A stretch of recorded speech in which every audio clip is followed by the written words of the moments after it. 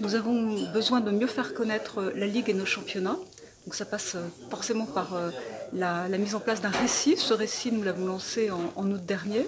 La volonté, c'était de mettre en avant ce qui était notre singularité. Notre singularité en France, c'est notre capacité à former, à, faire grandir des talents. Et donc c'est pour ça que nous avons euh, euh, pris euh, comme, signature ce qu'on appelle dans le langage de la communication la Ligue des talents.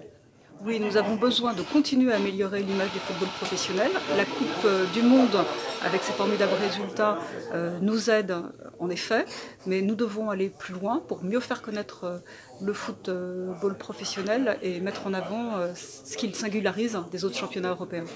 Nous sommes en concurrence avec les autres ligues européennes, c'est un fait.